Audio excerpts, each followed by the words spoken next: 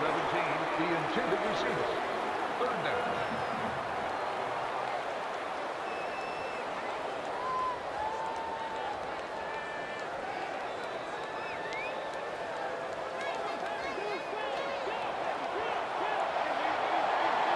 It's third down coming up.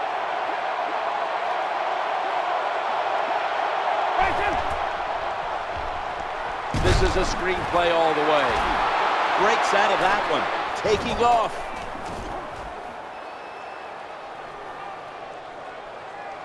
Touchdown. And this game just got a whole lot more interesting.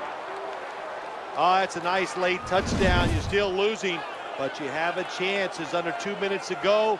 You never know what's going to happen. Make the other team keep playing. That's what you did.